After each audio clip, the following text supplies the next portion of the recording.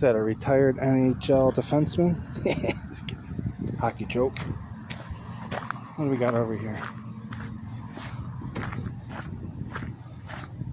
And we're walking to the sign that says Shuggy's Cafe and Bistro. Tax free. Here we go. Three, two, one. There it is.